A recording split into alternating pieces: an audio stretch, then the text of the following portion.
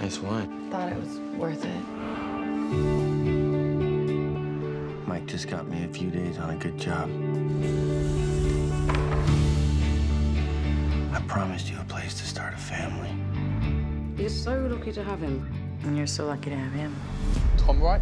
Yeah, you're served. We're gonna lose the house. I'm gonna work it out. Ben, turn it down! Ben!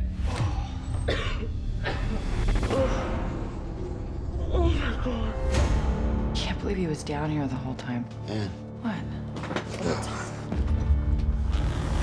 Oh my God, Tom. 220,000 pounds. So what do we do? Detective John Halden. When you discovered the body, did you find anything else? The cops came. They didn't find anything. I say we just hide it and wait a week. Two weeks. The mortgage, credit cards. We use cash where we can. Just enough to keep the roof over our heads. This could be really bad money. I know. But what makes money bad? The people make it bad.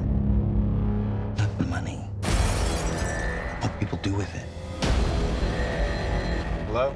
Didn't you know when you find a pot of gold, there's always a monster guarding it? Your tenant crossed a very bad man. Whose team are you on? What are we gonna do, Tom? There is a way out of it. Look, we're in this. Maybe this money is a gift. He's gonna get us killed. No heroics, no nothing. Just drop and go.